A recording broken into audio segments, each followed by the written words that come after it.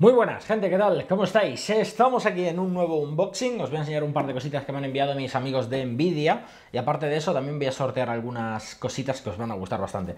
Para empezar, me han enviado la Nvidia Ciel TV, que está bastante, bastante guapa, la verdad. Ahora os la enseñaré. Y por otro lado, aunque le he quitado la caja ya, tenemos la mejor tarjeta gráfica que hay en el mercado ahora mismo la GeForce 1080 Ti, que ya ha salido, ha salido hace un par de meses ya y me la han enviado y tenía unas ganas locas de tenerla porque yo tenía la anterior, la Titan X, pero no la de Pascal, sino la otra, la de Maxwell, y esta eh, ya cambia la arquitectura y tenemos lo que viene siendo una Titan X, eh, perdón, una 1080 GTX eh, Ti ¿vale? El tema es que esta es de la arquitectura nueva, la arquitectura Pascal, fijaros qué tarjetón gráfico, es increíble. Esta es la Founder Edition, ¿vale? Para que no lo sepa.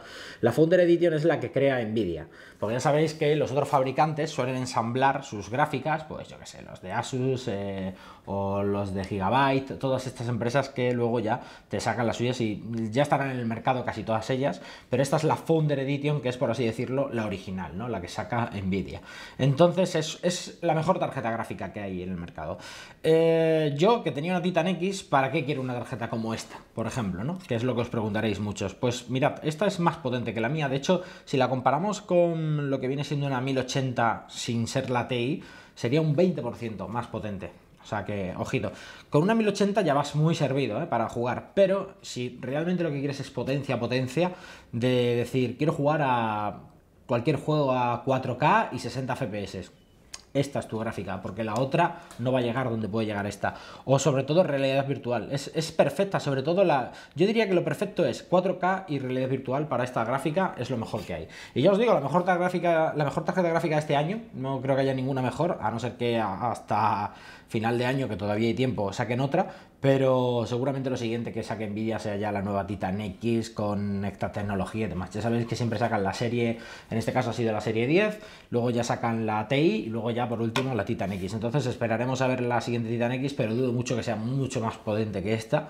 Yo diría que mm, con esto ya vamos a ir servidos. Esta gráfica, gente, vale 829 euros, ¿vale? De manera oficial. La de Nvidia, ojo, luego ya sabéis que los fabricantes pues le ponen otros precios, hay algún sitio que es más barata, otra más cara, eh, porque una tiene mejor refrigeración, porque tal, porque cual, pero bueno, en definitiva, la potencia de esta gráfica, estamos hablando, fijaros que lo tengo aquí puesto, Comparada con la anterior, TI, que es la 980, tiene casi el doble de potencia, es que es increíble. 11 GB de eh, DDR5. Ojito, ¿eh? Y eh, la frecuencia de memoria 11 GB, eh, la arquitectura de esta es Pascal, como os he dicho antes, la otra era Maxwell, y la frecuencia acelerada real que tiene esta es de 1582 MHz por los 1075 que tenía la anterior. Es que es un pepinazo increíble. Todavía no la he probado, la acabo de abrir y os la estoy enseñando, pero lo primero que voy a hacer, y lo veréis aquí en el canal, va a ser instalarla y seguramente instalarme The Witcher 3 de nuevo, meterle algunos mods gráficos y jugarlo a 4K. Y os lo por supuesto, para que veáis cómo va. Pero estoy casi seguro que en 4K y con todos los gráficos a ultra y todo lo demás, tirará a más de 60 FPS o se quedará por ahí por 60, que es lo importante. Entonces, nada, gente, os la iré enseñando estos próximos días cuando la instalen en el ordenador. Y por otro lado, tenemos eh, la Nvidia Ciel TV. Aquí la tenéis. ¿Qué es una Nvidia Ciel TV? Básicamente es como un centro multimedia para todos aquellos que mm, os guste tener eh, todo en la televisión, por ejemplo. Si conocéis otros otros centros multimedia como el Chromecast, creo que se llama uno de ellos, eh, luego está el Apple TV o algo así, que había el otro, pero es el mejor del mercado se supone que es este, o por lo menos es lo que dicen todas las, todas las reviews que he podido ver. Es más pequeño que el anterior, es muy pequeñito, fijaros, esto es la consolita, ¿vale? Esto se enchufa por detrás, tiene puertos USB, tiene el HDMI, tiene el Ethernet, ¿vale? Simplemente lo enchufas a la tele y aquí tenéis el mando. Y fijaros en lo guapo que está. Eh, este es el mandito, ¿vale? Eh, a diferencia del año pasado, este modelo no tiene para meter el auricular aquí, ¿vale? Que es una putada, porque bueno, este es el mando donde tú controlas todo, absolutamente, ¿vale? Y esta la tableta. Es mucho más pequeña que el año pasado, que era como así, era enorme. Y eh, tú aquí lo que haces es lo enchufas a la tele, tienes todo aquí en este mandito y puedes poner tu consola, tu PC y jugar en tu consola a través de esto, como en streaming. Puedes pillar juegos, puedes poner Netflix, puedes poner lo que te dé la real gana. Es una pasada si lo que quieres es tener todo en tu televisión, la verdad. Y luego, fijaros lo que lleva, que esto es lo más guapo de, de la maravillosa Shield TV. Eh, mirad qué mando, gente. O sea, es guapísimo, es que mola un montón. Os lo voy a enseñar un poco más de cerca porque tenéis que verlo realmente, fijaros. O sea, el mando es una verdadera pasada. Fijaros el diseño que tiene. Es muy ligero, muy pequeñito. Pesa muy poco, es muy parecido al Xbox, ¿vale? Y de hecho tiene los mismos, los mismos botones, si os dais cuenta. La cruceta es destacable, os lo puedo asegurar, porque he estado probándola y la cruceta yo creo que es lo mejor que tiene, que tiene el mando. Por supuesto, su puerto para cargarlo. Y aquí está el puerto de los auriculares que hemos perdido en el otro mando. Lo tenemos aquí, en el mando de juego, ¿vale?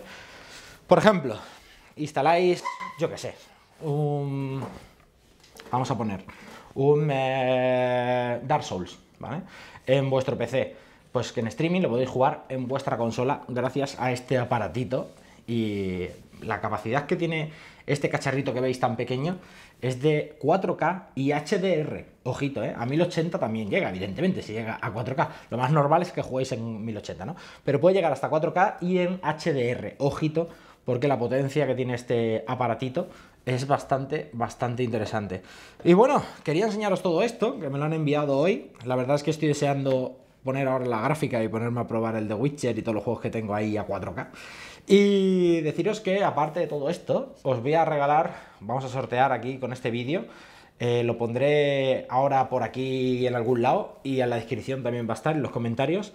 Voy a sortear dos Dark Souls 2 de PC, ¿de acuerdo? Dark Souls de 3, perdón, dos del Dark Souls 3, que quede claro, de PC y otros dos de Witcher 3, edición del año, con todos los DLCs.